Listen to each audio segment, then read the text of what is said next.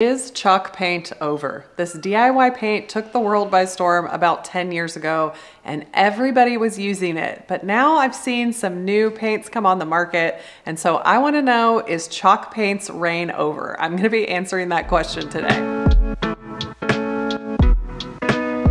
If you are new here, hi, my name is Christina Muscari and I have been painting furniture on YouTube since 2014. So it has been 10 years since I was introduced to chalk paint. It was this miracle paint that hit the market, made really famous by Annie Sloan, where you could just clean a piece of furniture, throw some paint on it, distress it, add a top coat or a wax and you had a beautiful farmhouse or French country looking piece of furniture. I have used it on dozens of makeovers and it wasn't if it wasn't for chalk paint, I would not have a YouTube channel. I would not have an Instagram. I would not have a career or a job. So I'm so grateful to chalk paint, but a lot has happened over the past 10 years and there are new paints coming on the market that I think have become more popular in furniture painting. If you're a furniture painter or a DIYer, I would love to know your thoughts on this question is chalk paint over? Leave them down in those comments. The reason I started using chalk paint was because of the ease of it. I painted almost everything in my home back in 2014. I had really dark furniture or I had things that were handed down from my family or I had things that I was buying from Goodwill and I was putting white or gray paint on them, distressing them, putting clear wax on them to seal them and dark wax on to give them a more aged look, that French country look, that farmhouse look that was so popular back then. And the reason chalk paint was so popular is because it was so easy to use. All I had to do was clean my dressers off with soap and water and I could paint right on top of them without using primer. And yes, it worked. Um, it held up. And the thing that I loved about distressing so much is that you really couldn't mess up furniture. If you distress it too far, you just add a little bit more paint. Uh, the pieces that I was recreating, the dressers that I was painting were really damaged. They were really old. They were really beat up. So adding that distressing to them was just very easy to just paint and distress and it looked very old and lived in and that was the look. And I think the industry as itself has grown a lot. Back in the day, everybody was using Annie Sloan chalk paint and you had to drive to your local store to find it. I used to drive 45 minutes or an hour just to go get my Annie Sloan chalk paint and waxes and everything. You couldn't get a chalk paint, furniture paint in the hardware store. Now there are so many brands. There's so many independent brands. The bigger brands like Rust-Oleum has their own version that's in the hardware store. Uh, Valspar has had a version in the hardware store. It is very accessible. There are lots of paints available on Amazon as well. Over the years, you have seen so many content creators come on the scene. There's so many people on YouTube here refinishing furniture. There's so many people on Instagram and TikTok refinishing furniture and you're getting getting to see it in real time. When I started painting, there were like some blogs out about it, but you couldn't really get a lot of information of like, how are people flipping furniture? What are they using? What are the techniques that you're using? So I think with this big explosion of all these content creators flipping furniture, whether it's just to create content or for themselves or as a side hustle, we just have this huge wealth of knowledge to see how people are doing things differently. And also times have changed and styles have changed and farmhouse has definitely moved through that huge breakout trend that it has. I don't think farmhouse is dead. I don't even really think chalk paint is dead. It's just not as popular as it used to be. Those styles aren't as popular. We've moved more into wanting to see that sleek modern look that people actually want to see their furniture look like store-bought furniture. And back in the day, that was like, you never talked about that.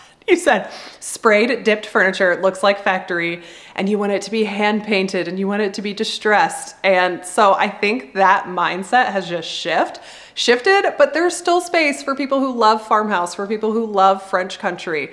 Uh, just because something's not on trend and not popular anymore doesn't mean that you can't do it anymore. For me personally, my style started changing in my house. I noticed I wanted to switch out that distressed look in my house. I wanted a more clean, modern look. I really started falling in love with having dark blacks in my home and rich greens and even navies. So I kind of shifted away from that white, light gray that I used to really love and that distressed look. And so I started playing with new techniques and new paints started coming on the scene that were different than chalk paint. They were a little bit um, more leaning towards that smooth, durable finish. And so I don't know if you've noticed, but over the past two years, I have really started spraying my furniture a lot.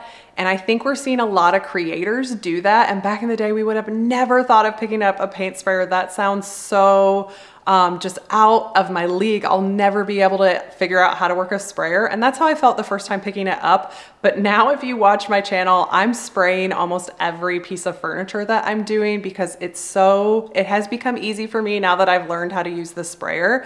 And the finish you get is just so beautiful if you're going for that smooth modern finish.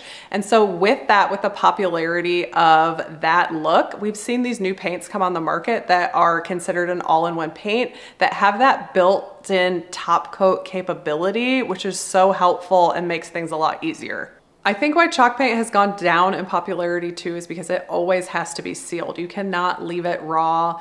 It will not hold up well. And with these new paints that are coming on the market, they have a built-in top coat. Um, it's always a good idea to throw some extra top coat on there if it is a really high traffic piece. But I have used some of these um, all-in-one paints over the past years that are just super impressive to me. And I have them in my home without a top coat on them. And I can attest that they hold up. You guys have seen me do a number of makeovers with silk all-in-one paint. I have lots of those pieces in my house that's still holding up. The one that I can attest to the most is in my daughter's room and it does have some nicks and chips in it because it's in a kid's room, but I am shocked. I've had that for three or four years and that has held up so well in her room. And that I just painted on with a paintbrush and I didn't put any primer underneath. I didn't use any top coat on top and it held up. So if you're just a regular DIYer, you're like, Christina, I'm not trying to sell this. I just want this to look better. I think these all-in-one paints are a really good option for you. When I'm using Silk all-in-one, I always clean really well and scuff sand. Sometimes I prime underneath this one and sometimes I don't. It just depends on if I think the furniture is gonna bleed or not, or if I did a lot of repairs and had a lot of wood filler in there. It's usually a case by case basis, but I have tons of projects using silk paint.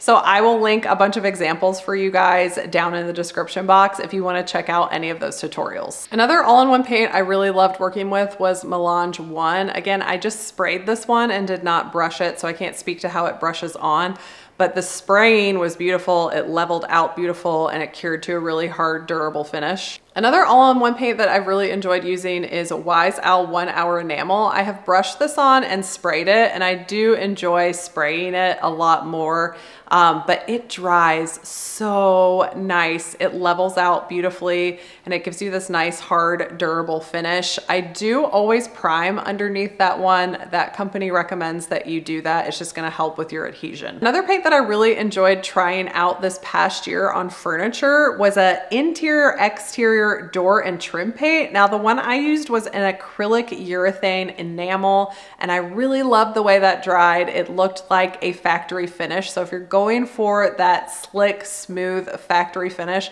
I really liked that one. I did have to prime underneath this. I don't think this would stick very well to furniture that has a coating on it if you don't put a primer underneath it. Again, because of the way this one is formulated, it's sprayed really beautifully and leveled out beautifully. I know a lot of people who have hand brushed this and who have used a roller on it and I think you can get similar results but I haven't tried it out yet. And another all-in-one paint that I recommend a lot to beginners that are just trying to flip something for their home and not necessarily sell or make this into a business is Beyond Paint. It is so easy to use. All you have to do is clean your furniture with Simple Green and then you roll it on with a roller and you use a chip brush to kind of stipple in hard to reach areas and then you roll everything else smooth with the roller. Something that people don't like about this is that it does have a little bit of texture to it. Definitely when you put it on, it is super thick and it looks really orange peely, but as it levels out, it flattens out, but it still will have some texture to it.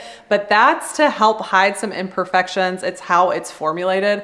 But I have Beyond Paint in my house in a lot of spaces. And as long as you clean really well, this stuff bonds, primes, and seals all in one step. It is the easiest thing for someone who has no experience to do. It is a little bit pricey. I understand when people tell me this such expensive paint, but when you think about all the steps that you get to take out along the way, it's definitely a recommendation for your first flip for something that you're doing in your home. And I know a lot of people that have used Beyond Paint on cabinets, in RVs, um, and they have been really happy with the process of refinishing cabinets or vanities in their bathroom. So do I think chalk paint is over? No, I don't think chalk paint is over. I definitely reach for it a lot less than I used to, but that's okay. Like we evolve and grow as people. And I know there's tons of artists, furniture artists, furniture refinishers that still use chalk paint. They do beautiful things where they blend with it. There's a lot of people that still distress, so it's okay to still distressed. I will always be pretty distressed, even though I don't have any distressed furniture in my home anymore. I just love how the industry has grown. I love how there's so many paint companies now. There's so many places you can purchase paint, whether it's on Amazon or at the hardware store or go to one of these individual shop sellers or go to a website somewhere. You have so many options.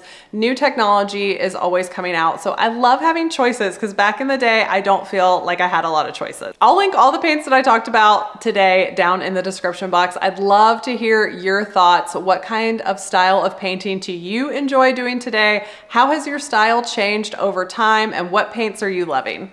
If you enjoyed today's video and you're not a subscriber, make sure you hit that subscriber button before you leave. Give me a like, give me a comment. We're going old school YouTube today. Thank you guys for being here and I will see you in my next video.